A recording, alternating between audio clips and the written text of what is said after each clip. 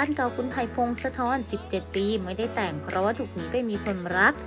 สองคู่ซีสำหรับวงการอย่างไผ่พงศธรและต่ายรัตไทยค่ะ เปิดเผยถึงมิตรภาพอันสวยงามของทั้งคู่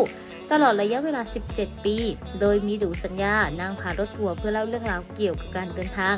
ในถนนสายที่เป็นมิตรภาพค่ะ ชื่อถนนที่กลายมาเป็นความฝันของใครหลาย ๆ คนเล่าถึงผลงานอัลบั้มแรก ในรายการตามสัญญา เมื่อแขกรับเชิญอย่างไผ่และต่ายมาเยือนรายการ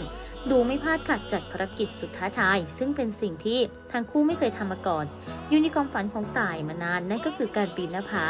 ที่อำเภอแก่งคอยจังหวัดสระบุรี งานนี้ต่ายบอกเองเลยว่า เป็นภารกิจแบบสุดขั้วที่สุดในชีวิต ปิดท้ายด้วยการสัมผัสชีวิตแบบวิถีชีวิตแบบชาวบ้าน บ้านทำน้ำพุที่หนุ่มไผ่พงศธรได้โชว์ฝีมือในการทำอาหารอีสานที่คุ้นเคย ทั้งคู่เล่าความประทับใจที่การได้มารายการนี้ ก็ต้องบอกเลยว่าเป็นอีกหนึ่งมิตรภาพที่ดีมาก ๆ เลยละค่ะ จะเป็นอย่างไรมาติดตามกันค่ะ